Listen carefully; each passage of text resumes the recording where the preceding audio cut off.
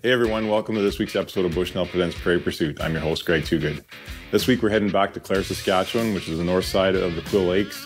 We're hooking up with Randy at Ace Outfitting. He's getting us set up for some of our last duck and goose hunts of the 2022 season.